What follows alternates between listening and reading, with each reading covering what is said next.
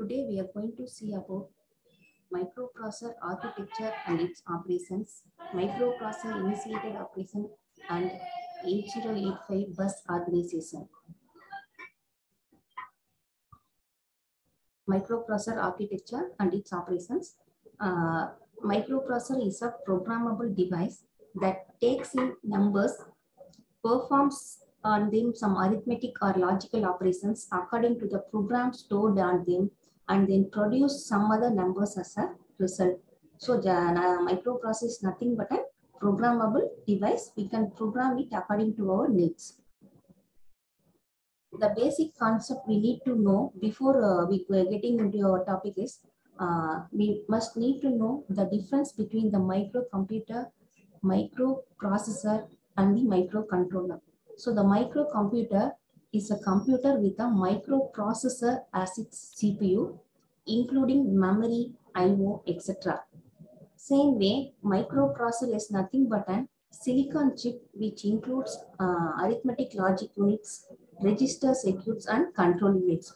Microcontroller is a, again a silicon chip, but which includes microprocessor, memory, and I/O in a single package. So in the microprocessor, just it contains only the uh, arithmetic logic units and uh, register circuits will be present separately, but in microcontroller, everything will be present inside the single chip. Next, we are going to into the topic microprocessor architecture and its operations. So microprocessor is a programmable device designed with the registers, flip-flops, and the timing elements uh, it has set of instructions designed internally to manipulate the data and communicate with the peripherals. So the process of data manipulation and communication is determined by the logical design of the microprocessor. So the logical design is we call this an architecture. So microprocessor is nothing but a programmable device.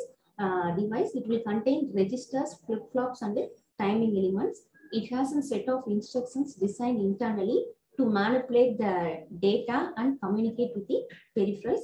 So the process of this communication and manipulation will be determined by the internal logic of the microprocessor. So we call this uh, logic uh, internal uh, logical design as an architecture. The microprocessor will read only one instructions at a time. Then it will match the instructions with the with the instruction set and perform some manipulations indicated by the instructions. So the functions performed by the microprocessor, we can classify into three categories.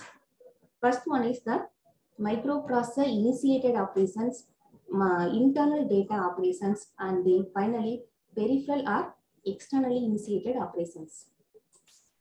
So to perform these three operations, microprocessor must need some group of logical circuits and a set of signals called the control signals.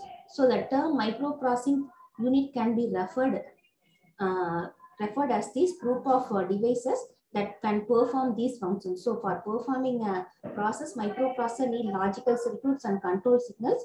So for uh, so the microprocessing unit, uh, uh, we can call this term, the term microprocessing unit as the device group of device that can perform these functions which are necessary uh, set of control signals that same way that uh, similar to the MPU, uh, we can uh, use the CPU. So CPU and MPU are uh, more or less similar. So the in microprocessor is a, but the microprocessor is a single chip integrating all the functions of a CPU of a computer. So it's a difference. So we can compare the CPU uh, and the microprocessor, but uh, here in microprocessor, everything will be contained in a single, will be integrated in a single chip. So uh, what are the functions the CPU are doing will be done by the microprocessor, but it will be present inside a single chip.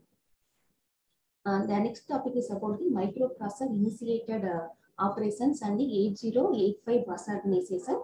Microprocessor primarily performs four operations, memory read, memory write, then IO read, IO write. So for performing these operations, uh, uh, the, it's, a, it's a part of a communication between the microprocessing unit and the peripheral devices. So to communicate with the peripheral devices, microprocessing unit need to perform the following steps. So first one is it need to identify the peripheral or the memory location. Then it must transfer the binary information. Then the, in the step three, it want to provide timing or the synchronization signals between the peripheral and the microprocessor. So for doing these three operations, microprocessor needs some communication line that is the bus organization. So next we are going to see about the 8085 bus organization. 8085 microprocessor perform the above three functions using the three sets of communication lines called the buses. The group of three buses called the system bus. So first one is the address bus, the data bus and the control bus. So using these three buses, the microprocessor can communicate with the peripheral devices for doing the operations. So it's the bus uh, 8085 bus architecture. So here, this is the 8085 microprocessor. Here we are having an address bus, then the data bus and the control bus.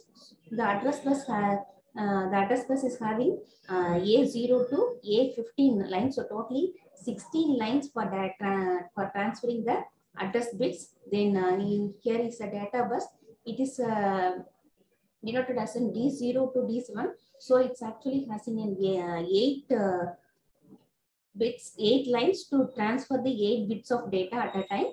Then the control bus for controlling these uh, operations. Here the address bus is an unidirectional bus. So the data is transferred from uh, microprocessor to the other peripheral devices, whereas the data bus is a bidirectional bus. So it can transfer the data in the both sides of the microprocessor as well as the peripheral devices.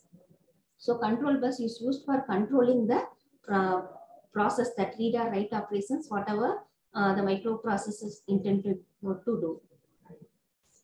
Next, uh, uh, the address bus. So it's nothing but a group of 16 lines indicated as an A0 to A15. Then it's an unidirectional bus. Here the data flows in the one direction from the microprocessor at the peripheral device. So microprocessor uses the address bus to perform the first function that is identifying the peripheral or memory location. The next is the data bus. It is a group of eight lines indicated as D0 to D7. The data bus is a bidirectional one. So it's the data flows in a both direction between the microprocessor and the peripheral devices. So the microprocessor uses this data data bus to uh, make the data uh, data flow from for the second function that is transferring of the binary instructions.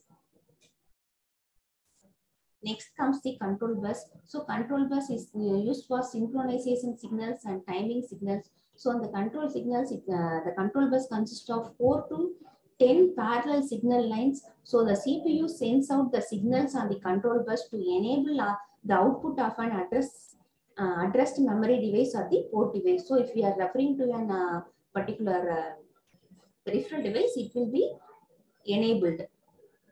If you are referring a memory, that memory address would be enabled. If you are referring an output device, it will be enabled. Example, uh, memory read, memory write. So microprocessor uses the control bus to perform the third function, providing the timing signals. For example, to read an instruction from a memory location, uh, we can use the uh, control signals memory read. Now we are going to see about the topics internal data operations and the 8085 registers and the peripheral initiated operations.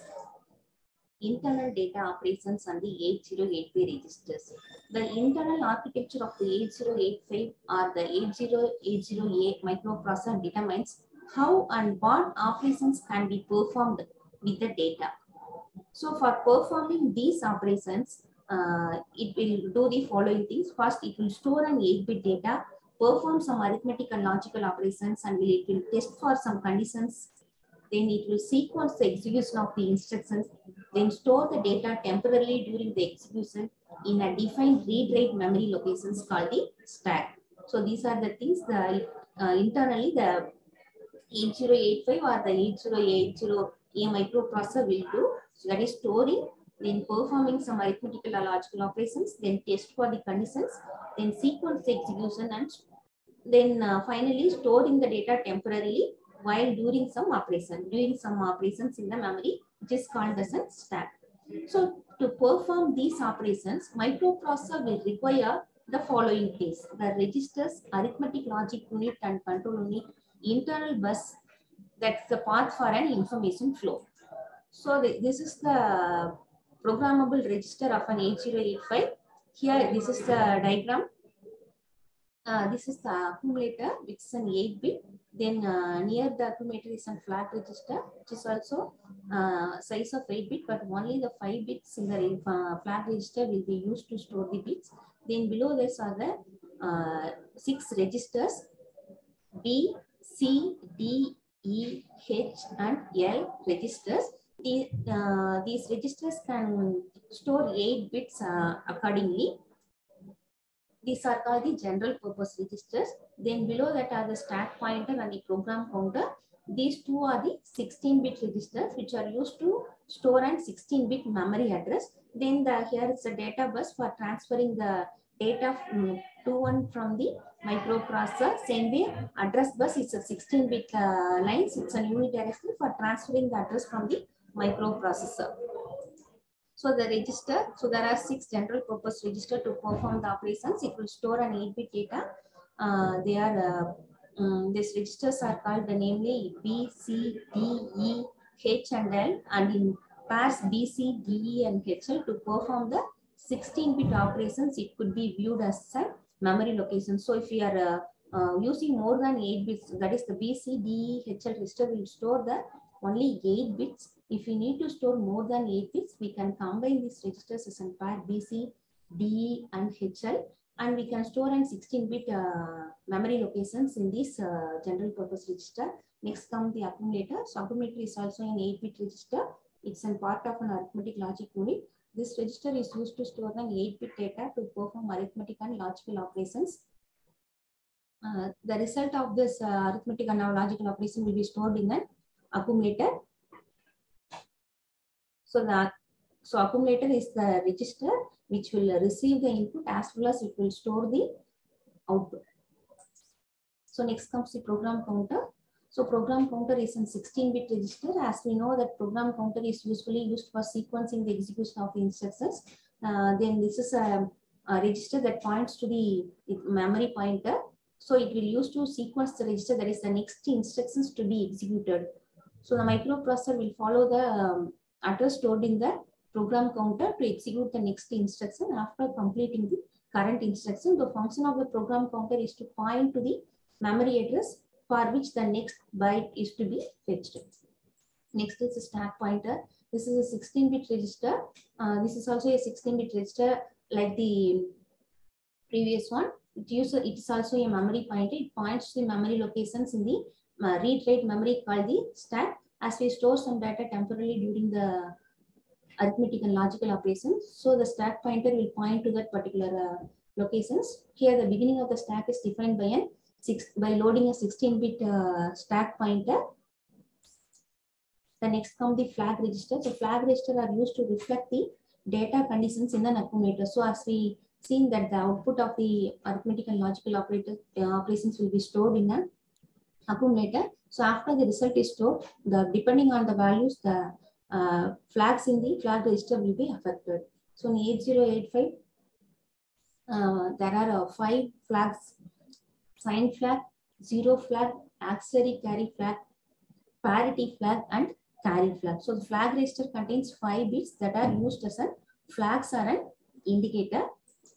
So here uh, S means the sign bit uh, that is if the value stored in a accumulator that is result is positive or we can find out whether it is positive or negative value. If it is logical one, then it is a negative value. If it is a logical zero, then it is a positive value. So if the sign bit contain one, it is a negative one. If it is contain zero, it is a positive value. Then Z means a zero flag. If the value in the Z flag is one, then the result is zero. If it is zero, then the result is uh, one. Then the auxiliary carry.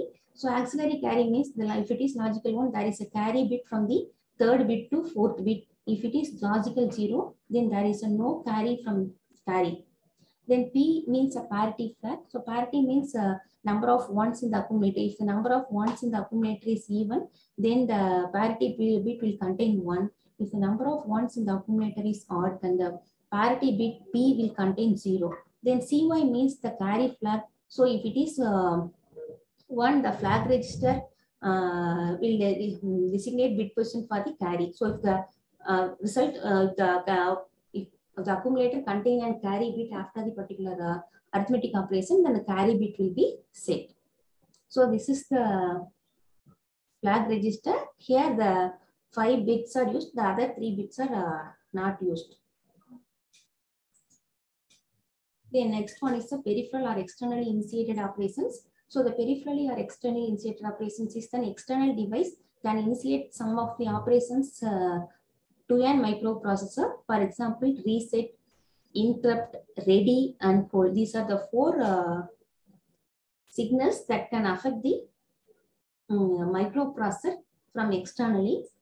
So reset, when reset is activated, then all the internal operations are suspended and the program counter is cleared. So for example, if you want to stop the process what the microprocessor is doing, we can use the reset um, uh, signal so that it will uh, suspend all the process and clear the program counter. Next is the interrupt. Uh, interrupt means uh, microprocessor can be interrupted from its normal execution and asked to execute other instructions called the service routine. The microprocessor resumes its uh, operation after that. That is, if you want to stop some uh, execution for temporarily, then do some other process and after completing it, if we want to continue the previous one again, we can use the interrupt signal. But in the reset, the previous uh, process will, will be stopped uh, completely, but here it will be temporarily stopped and we can resume it again when we use the uh, interrupt signal. The next one is the ready. Uh, the 8085 pin has a uh, has a pin called ready. If the signal is low, then microprocessor will enter into the waiting state. We are using this signal mainly when the microprocessor is communicating with a peripheral device, which is slower than the microprocessor. Uh, we can use this steady signal. So when the microprocessor enter into the waiting signal, then the, the, this is used to indicate, uh, used for synchronizing the slower peripherals with the microprocessor. So when microprocessor transfers some data to a slower peripherals, then uh, ready signal will be uh, enabled that it, will become low so that microprocessor will wait till the receiver receives it. Next one is the hold. When the hold pin is activated by an external signal, microprocessor releases its control buses and allows the external peripherals to use them. So mainly we will use while the, the DMA access, that is a direct memory access. So hold is an uh, signal, it will be external, external signal, it will be given to the microprocessor for requesting for its buses. So when the signal is coming from an uh, external device, microprocessor will, will relinquish its control buses and allow the external peripherals to use them. For example, the hold signal is used in direct memory access data transfer.